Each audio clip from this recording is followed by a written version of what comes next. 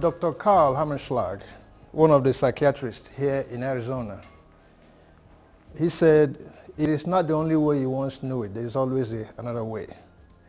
I'm not here to reinvent the wheel, but I'm here to have a conversation. Uh, my topic is on uh, leadership, uh, humility in leadership. And I spend most of the time focusing on the humility part of it. But for the interest of this conference, I added that leadership. Leadership is an intellectual frontier. Uh, nobody has a license or how we say they have the ultimate or final uh, definition of leadership. But what I do know that the definition of leadership is action. You can't claim you're a leader without translating what you know, what you know into results. What is humility?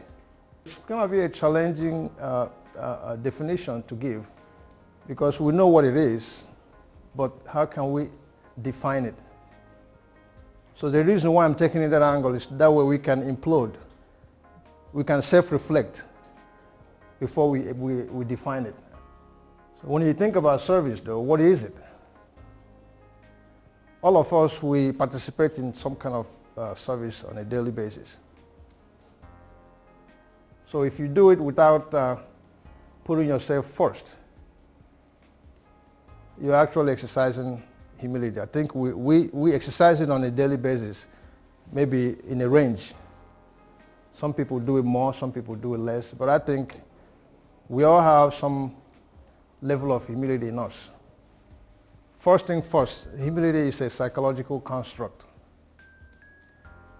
Uh, that simply means that uh, just like love, you can't touch it, you can actually lift it up, but it has such a powerful influence in our life. Okay, thank you so much.